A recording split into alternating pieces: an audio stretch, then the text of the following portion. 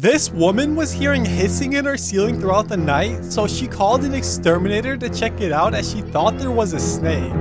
Little did she know,